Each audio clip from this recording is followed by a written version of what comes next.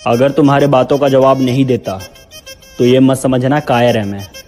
और बेटा real life में भी पुष्पा की तरह फायर है मैं।